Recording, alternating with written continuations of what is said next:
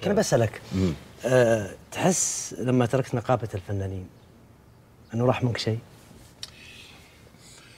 آه لا اولا مو أنا اللي تركت نقابة الفنانين أنا انفصلت من نقابة الفنانين. الحقيقة آه الأخ اللي أنا يعني مصر على إني ما أقول عنه نقيب فنانين أقول عنه رقيب الفنانين لأنه يقوم بعمل الرقيب الحقيقة.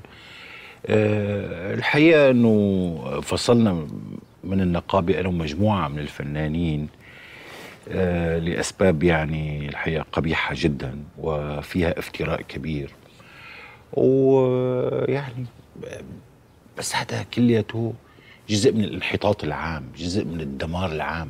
انت بتعرف اليوم في أشياء هي عظيمة وكبيرة.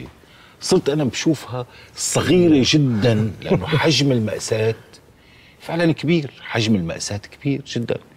لذلك الواحد بيشعر بالأسى وبيشعر بال بنوع من الخذلان وبيشعر حتى أحيانا بشيء من اليأس يعني لأنه ما كان في داعي ابدا. نحن ناس النا رأينا. يعني أنا واحد من الناس اللي كان عندي رأي كان ممكن الرأي يكون غلط أو يكون صح. للأسف الشديد إنه طلع رأينا صح. يعني أثبتت السنين إنه رأينا الصح وانه ما كان في داعي نوصل لهون وكان في عنا فرصة إنه ما توصل سوريا ونوصل كسوريين إلى هذا المكان.